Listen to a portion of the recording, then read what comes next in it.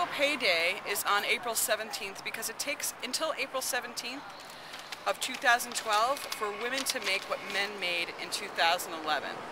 A handful of Occupy Albany protesters held a bake sale outside the Capitol to protest wage inequality between men and women on the same day three bills that would attempt to fix salary differences passed the Assembly. For every dollar a man makes, a woman makes 77 cents, said Laurel Young, referring to federal census data.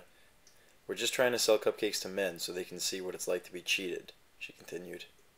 Census Bureau salary data estimates that white women make 82 cents for every dollar an average man makes, while black women make 70 cents, Hispanic women make 58 cents, and Asian women 92 cents. We're here because there's some fair equity uh, bills, wage equity bills that are being voted on in the Assembly today. So we're here to uh, advocate that those bills be passed, and we're having a wage equalizing bake sale.